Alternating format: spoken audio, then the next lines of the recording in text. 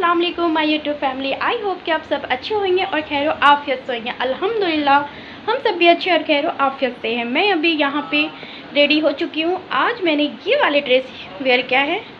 बहुत दिनों बाद मैंने इसको भी निकाला आज। क्योंकि आज संडे था तो मैंने सोचा कि चलो, आज मैं नहा धो के फ्रेश होके मेरी ये वाले ही सूट में मैंने नमाज़ अदा किया। बहुत ही प्यारा लगता है मुझे ये कलर अच्छा लगता है मुझे। बस इस तरह से अपना कुछ लुक और ये वाली लिपस्टिक मुझे गिफ्ट में मिला था। तो बहुत प्यारा लगता है मुझे तो मैंने यही वाला ही लगाया। है ना? ऐसा तो आपसे बताना मुझे कि कैसा लग रहा है। बहुत सारी प्रॉब्लम है। बहुत कुछ फेस कर रहे हैं बहुत कुछ मतलब स्ट्रगल कर रहे हैं। चलिए फिर मैं चलती हूँ। मैंने साइड में रखा और ये संडे का दिन था तो मैंने तो शाम के वक्त बच्चों को लाइक ऑफ़ कर लेती हूँ मैं। बाहर चलते हैं थोड़ा सा एंजॉय करते हैं क्योंकि आप अगर हर वक्त मुँह बनाए रहोगे अपने टेंशन को अपने दिमाग में लिए रहोगे तो क्या मुझ होगा? घर मुझ खराब हो रहा है भी साथ इसी में पिसा रहे यहाँ पे ब्लॉग बना रही हूँ और ये है कि मस्ती किए जा रहे थे। मैं वही कह रही हूँ कि ऐसे मुँह मत बनाओ वरना मैं वीडियो में ले लूँगी तो फिर मत कहिएगा कि ले अपलोड कर दिया हाँ है ना? बना तो इनकी मस्ती को तो ले लो वीडियो बना दो तो मैंने बना दिया। हमें क्या है? कर सकते हो नहीं तो कोई भी नहीं करने वाला किसी को कोई फ़र्क नहीं पड़ने वाला। और सही में अगर समझ गए आप दुनिया की लग रहा है, बेस्ट हो अच्छी बेस्ट पेरेंट्स हो। तो इन सब चीज़ों सच में बहुत ज़रूर ध्यान प्यारा रखना। सा मेरा फेस क्यूट सा लग रहा है। मुझे खुद लग रहा है मैं खुद की तारीफ़ कर रही हूँ घर के काम में बच्चों को लेकर इस तरह से करना चलना और भी बहुत क्यूट दिख रहा है। कैमरे का कमाल है ना? इन सब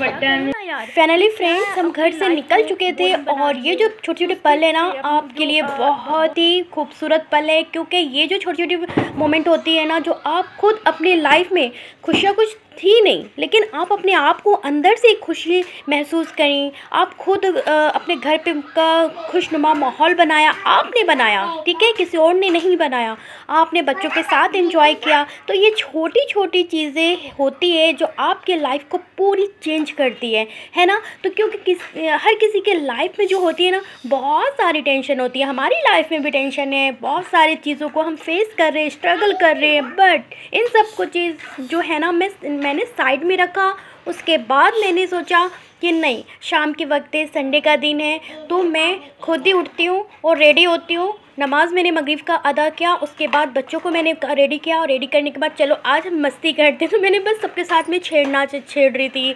बातें कर रही थी। तो इस तरह से जो घर का माहौल चेंज हुआ ना, बहुत ही अच्छा लगा मुझे भी और साथ में बच्चे भी हस्बैंड भी सब खुश हुए। तो ये आप कर सकते हो, क्योंकि एक लेडी होती हो ना तो वो कोई भी उनके लिए पॉसिबल नहीं होता कि वो नहीं कर सकती, वो सब कुछ कर सकती है। ऐसा क्या है जो नहीं कर सकती? आजकल सब कुछ लेडी तो लेडी ही सब कुछ कर रही है है ना? तो इसी तरह से अपनी लाइफ को खूबसूरत बनाइए और अपनी लाइफ को एंजॉय कीजिए, क्योंकि बाहर वाले कोई भी नहीं आएँगे। कोई आपको आपकी खुशियाँ ढूंढकर आपके हाथों में नहीं देने आएँगे। वो चीज़ आपको ही निक अपनी खुशियाँ खुद के अंदर ढूंढना है। आप क्योंकि आपके ये जो छोटे छोटे बच्चे हैं ना जब ये बड़े हो जाएँगे ना तो ये सारी चीज़ें आपकी लाइफ से चली जाएगी। वो आपसे थोड़े दूर हो जाएँगे। ये छोटे छोटे पल होते हैं, उनकी प्यारी प्यारी बातें, उनके साथ मस्तियाँ करना, उनके साथ खेलना। तो ये जो मोमेंट है ना, वापस लौट के नहीं आएगा। और उस वक्त हम बहुत, हमारी उम्र हो जाएगी। हम एक कोने में कहीं बैठे होंगे। तो ये सारी चीज़ें मैं सोचती हूँ ना, मुझे बहुत तकलीफ़ से होती मुझे अभी से मैं सोचती हूँ कि ऐसा होगा क्या? तो क्यों ना इस पल को हम खुलकर जिए, अपने बच्चों को खुशियाँ दें। तो इसी तरह से आप भी क्या करूँ? आप भी खुश रहा करो और अपने माहौल को चेंज करो। ना कि एक कोने में बैठकर बस यही सोचा करो, हमारी लाइफ तो बिल्कुल बोरिंग है। हम ये क्या लाइफ जी रहे हैं? कि कब चेंज होगा? नहीं, ये आपको चेंज करना है। आपको खुशियाँ ढूंढना है। कोई और नहीं ढूंढ कर आपको देगा ओके फ्रेंड्स आप ये बातों से सहमत है तो ज़रूर कमेंट करना और मुझे कमेंट में बताना कि मैंने सही कहा क्या? फ्रेंड्स ये नेक्स्ट डे हो जाता है और यहाँ पे मैं नाश्ते की तैयारी कर रही हूँ क्योंकि बच्चे रेडी होके बैठे हैं। आज फट वक्त जब मैं उठी, सुबह मॉर्निंग में कुछ ऐसा हुआ कि घर का माहौल बिल्कुल चेंज हो गया। बच्चे उदास हो गए बट समझ नहीं आया कि ऐसा कैसे हुआ। मैं फजर के वक्त उठी नमाज़ अदा किया उस टाइम मैं अपने बेटे को उठाई और वो जब विंडो में जाके बाहर बाहर देख रहा था तब उसने देखा कि उसकी साइकिल नहीं है। तो उस वक्त बहुत शॉक शॉक्ड हो गया कि मम्मी मेरा साइकिल फ़ौरन वो भागता हुआ नीचे गया पूरा गली आसपास ढूंढा उसके पापा फ़ौरन उठ के वो पूरी गली गली मतलब घर के आसपास घर से थोड़े से दूर सब दूर ढूंढ कर आ गए सुबह फजर के वक्त में लेकिन कहीं कुछ पता नहीं चला। बट मेरे बच्चे का चेहरा देख के ना मुझे बहुत कैसे जाएगा मतलब मैं खुद इमोशनल हो गई थी उसके साथ क्योंकि वो ऐसे कह रहा है मम्मी मैं क्या करूँ?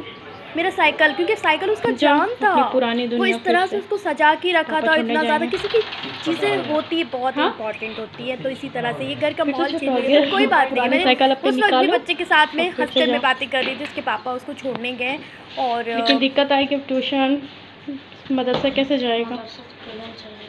हम्म? चले जाना। ठीक है बाबा बार बार कैसे लेके आना जाना करेंगे। ठीक है? समझ में आ रही है ना? कि रोना आ रहा है। वो अच्छा नहीं लग रहा वो सबसे अच्छी साइकिल थी मेरे पास थोड़ा मिल में अब क्या कर सकते हैं? लोग ऐसे लोगों को हिदायत दे ना? क्या बोल सकते हैं? किसने चोरी किया क्या किया? चलो ठीक है जाओ। टाइम हो गया। अल्लाह हाफिज़। वो साइकिल थी तो ज़्यादा तेज़ भी चलती थी वो एक पेडल मारने पे ऐसी जाती थी मैं तो कह रही हूँ, पैसे बचाने का सोच रहे हैं और कुछ यहाँ से जा रहे हैं। खैर, कुछ नहीं कर सकते। बट मैंने उसे समझाया और अल्लाह का करम से वो समझ जाता है। थोड़ा सा नर्वस है बट सब कुछ ठीक हो जाएगा इन अल्लाह बहुत बड़ा है। उसके बाद मैं किचन में आ जाती हूँ। अपने लिए मैंने चीला बनाई थी आटे का। तो बहुत हेल्दी नाश्ता होता है। तो ये मैं नाश्ता करने के बाद और क्या कहूँ मैं? खैर लाइफ का ये भी एक पार्ट होता है जो अपने आप को सब कुछ खुशी से एक्सेप्ट करना पड़ता है है ना? तो चलिए जी, मैं इस वीडियो को यहीं पे एंड करती हूँ। अगर आप सबको हमारी ये वीडियो अच्छी लगी हो तो प्लीज़ लाइक शेयर और सब्सक्राइब करना ना भूलें और ज़्यादा से ज़्यादा शेयर करें और कमेंट में ज़रूर बताएँ आप अपनी राय, है ना? तो चलिए फिर इस वीडियो को मैं यहीं पे एंड करती हूँ। और जो मेरे न्यू व्यूवर्स है तो प्लीज़ सब्सक्राइब करें बिना ना जाए। बाय बाय अल्लाह हाफिज़।